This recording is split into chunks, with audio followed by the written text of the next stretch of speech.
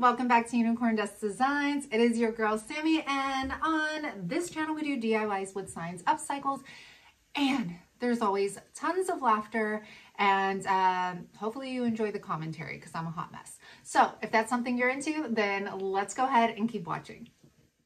Okay, you guys, so this is going to be our first uh, inspired piece.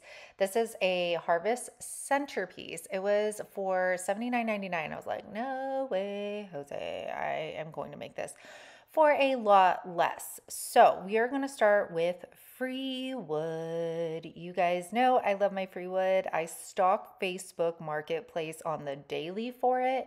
Um, I jacked Megan from Glue Guns and Roses because I wanted to show y'all. I literally go on Facebook Marketplace, either search free wood or I search it so much it just pops up. And you can see right here, free wood palettes. I scroll up a little bit more, free wood pallets. And I am so lucky because I live in Kansas. So like barnwood is pretty accessible to me. These I found on the side of the road for free. So we're gonna go ahead and build our box. What I did was the bottom piece, I took that and that's how I based my measurements off of. And then I measured, I'm gonna call them my end caps. Um, my end caps first and then my side panels second. So this is gonna be super easy peasy, just like that spindle box we made. And I'm gonna prop the end caps. At first I'm like, how am I gonna do this? Do I wanna build the frame first, attach it all to the bottom first? I'm always a hot mess and then I end up doing it the same way I always do it. So I take these end caps and you could see I have them sideways and then I take my side piece, I'm gonna staple three, top, bottom, middle on each side here. You guys, invest in a nail gun. Um, mine is battery operated nail gun. And then we're just gonna go, we're gonna attach the second side. Now, if I were to be selling this in my booth, I would definitely have applied some wood glue on these pieces and then nailed it. But since it's for my personal use, I was totally fine with nails. If you don't have a nail gun, you can just use an old school hammer and nails and it works. Okay, so now I'm trying to fit the bottom in here and I'm like, no way. Like I measured this. I know it's supposed to fit. I'm like starting to freak out here.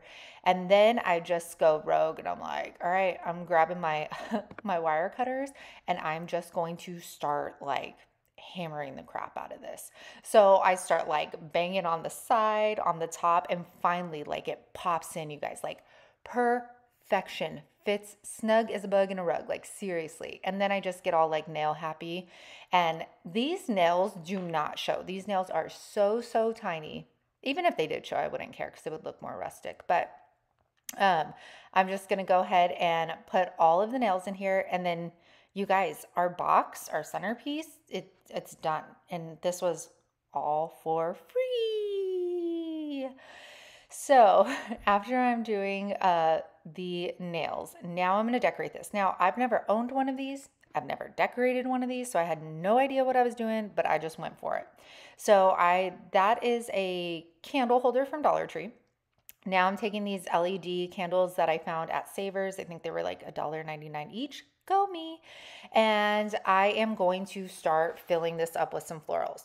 So I am taking some lamb's ear from Walmart, $2 for two picks. We're going to use the um, blue leaves from Dollar Tree and then the blue leaves that like came with the pumpkin and like the little berries in it. Now, these velvet pumpkins I got from Dollar Tree last year. I don't know if they have this color this year because I haven't been able to find the velvet pumpkins in my Dollar Trees. So, I am what I like about this and why I've been so into wreaths lately is because it's so fun that you can change this all around and add or take away or, you know, do whatever it is you want to them. And that's also why I do not add any floral foam. I don't want to glue anything down. I want to be able to change this out by season. So as I'm filling this all in, I'm just playing around with placement here. I do cut all the leaves off of like the main bundle. That way I can place them here and there. Then I realized, what am I going to do with these two like large holes? I can't just fill them with flowers. So then I get these, my lace pumpkins. I'll leave the video for these pumpkins down in the description box for you.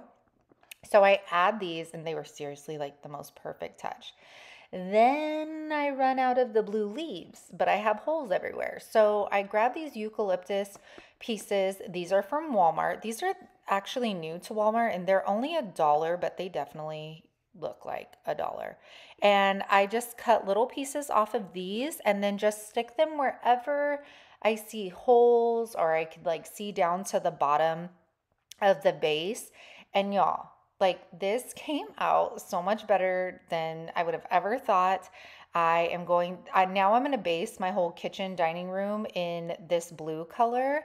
And it's gorgeous. And I love this rustic barn wood. I love that I can change this out by season. And it's going to be probably a permanent piece on my kitchen table that I can change up with the season. So let me know what you guys think about this Kirkland's inspired piece and if you will be trying to create one of your own. All right, y'all, that was the first DIY today. I hope you enjoy it. I hope you enjoy the rest of them. I wanted to take a timeout and I wanted to say thank you to each and every one of you that watch my channel, watch my content, watch me on my other channels. I truly do appreciate your support because if it wasn't for you watching, pressing a like, subscribing, sharing my content with your friends and your family, I wouldn't be able to do this as a career. So I feel super blessed and fortunate that I get to also do this from my home, which is even better, especially with the crazy world we're living in right now. So I just wanted to take the time and say thank you so very much to each and every one of you that support myself and my family. We truly appreciate it more than you will ever know. And with that said, you guys know if you're digging me, if you're digging the channel, if you're digging the DIYs, then make sure you like, make sure you subscribe. And if you're feeling like super like, ooh, I love you, then share too. That also helps your girl out. All right, you guys, with that said, let's go ahead and just get back into these DIYs. Okay, so I found this sign, the organic pumpkin sign, um, on Pinterest. So I know it's a Kirkland's item. I just didn't have the time to go look for it on their website. So I got this metal sign at Savers for $3.99. I spray painted it black. And now you guys are probably like, where am I supposed to find a sign like that? Well, I will tell you, I find these like raised metal signs at Savers all the time. So go to your thrift store, garage sales, things like that. You could even use split wood beads on like a Dollar Tree sign to achieve a look like this as well. So I am going to, one, I, I spray painted this black, then cleared it with clear matte spray paint. That way, when I apply this white chalk paint, I don't smear my black and then it looks all gray and gross. So I am using Rust-Oleum Linen White. I actually end up having to give this three coats. I don't know what was going on with this paint, but three coats did the job. Now I'm taking my baby wipe and we are wet distressing. So with wet distressing, I'm taking the baby wipe and as you can see, I'm rubbing it in. And then after like my initial rub, I go back over it with a clean part of the baby wipe to wipe off, I guess, the smeared white paint. Like you'll see right down here, see how it was like a chalky white and then I double swiped it and now you could see that bright black on it. You could also do this with a wet towel as well. I just like the baby wipes. I think it works well for me. But um uh what do you call it? Sorry, I got distracted. so I'm going to go over here. And wet distressing is so fun because you truly have full control over how much you want to distress, where you're going to distress. And I love that aspect about this. And too, when you're going on metal and stuff, I don't know why, but like sanding, uh, it doesn't it doesn't come out too well for me. So I continue to do this all the way around. This is dried, by the way, and it comes off super well. I believe chalk paint is water-based. I mean, you guys will tell me if I'm wrong in the comments anyways. So, uh, sorry you guys, I'm doing this on my computer and somebody is text messaging me. Okay, so now that we're done with that, I cleared that with the clear matte. I designed this on my Cricut. This will be available in my description box for anybody that owns a Cricut. Please be respectful. Do not claim this design as your own, as I do work very hard making them. Um, I did try to make it uh, look very much like our inspired piece. So I am taking, this is permanent vinyl. I don't know what possessed me. I think y'all know if you watch my channel, I always make stencils and paint my images on. I don't know. I think it was, you know, it's back to school and I, I, I, maybe I was in a rush. I have no idea why I chose to use vinyl, but I did. So this is permanent black vinyl. I'm using Vinyl Ease. All of this you can find in my Amazon store link down in the description box. Even my paints and stuff, everything I use, you can find in the Amazon store link. Okay. So now I'm just measuring this, trying to make sure it's straight, but then I start over analyzing.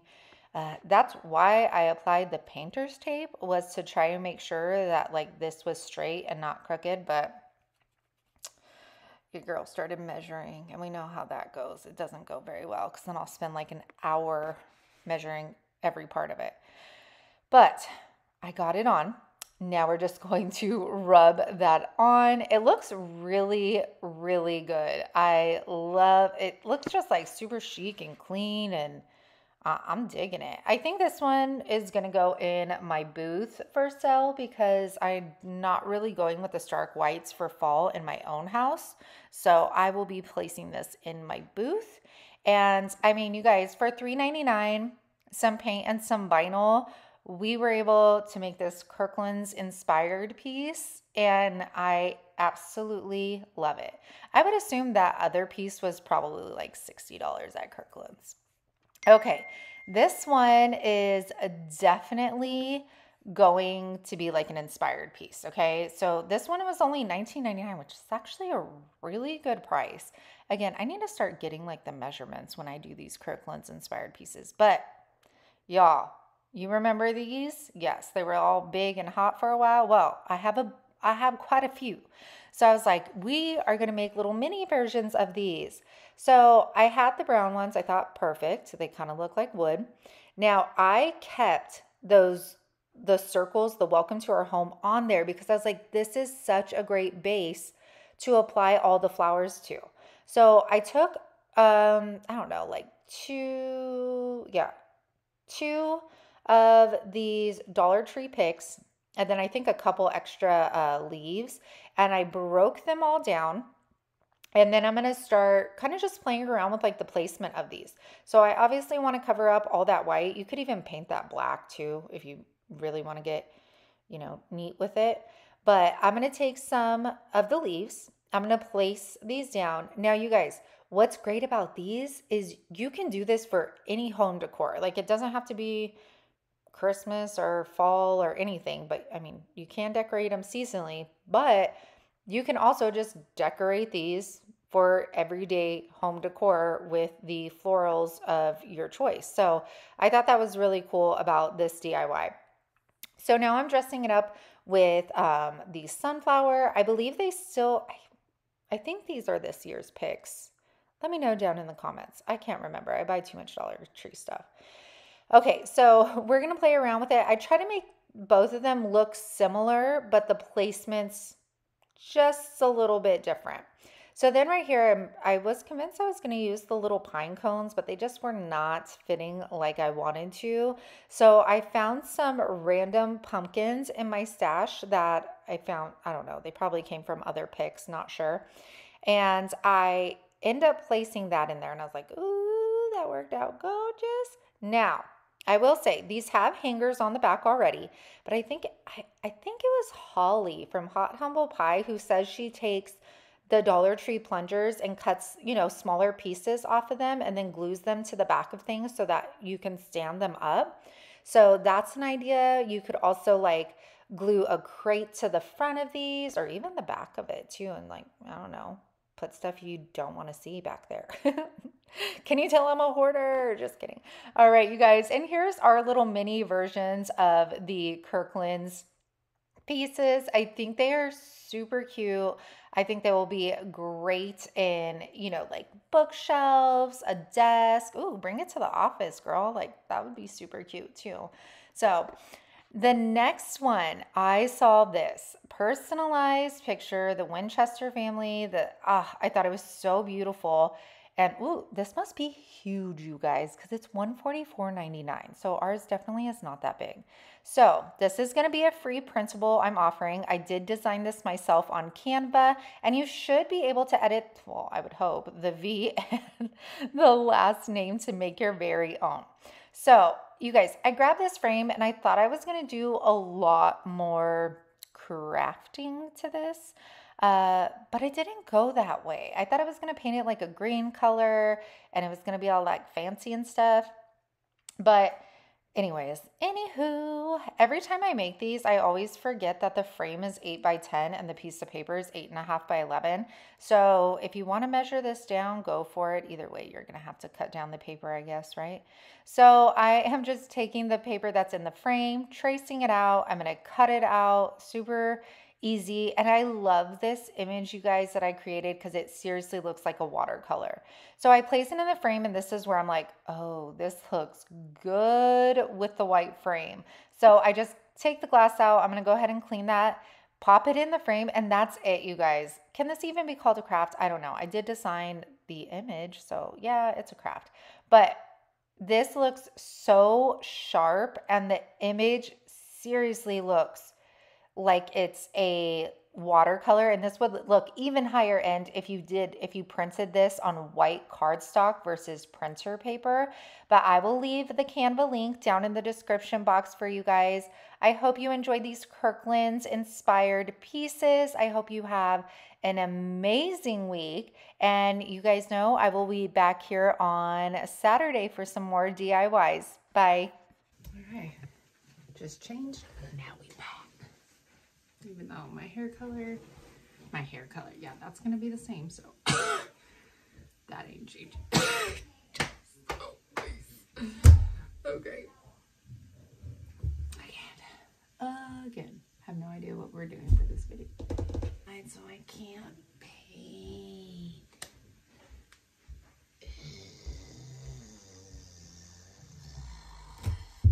We don't even have to mention what we're doing. How about that? Okay.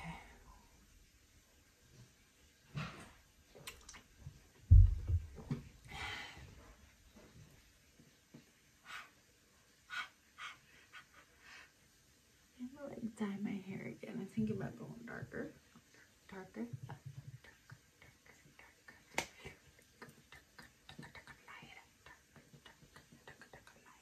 Okay.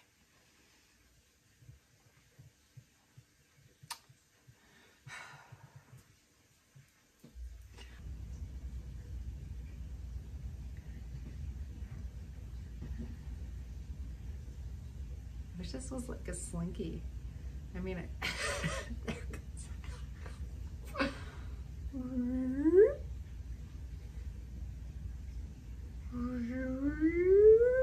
no, that one didn't do it.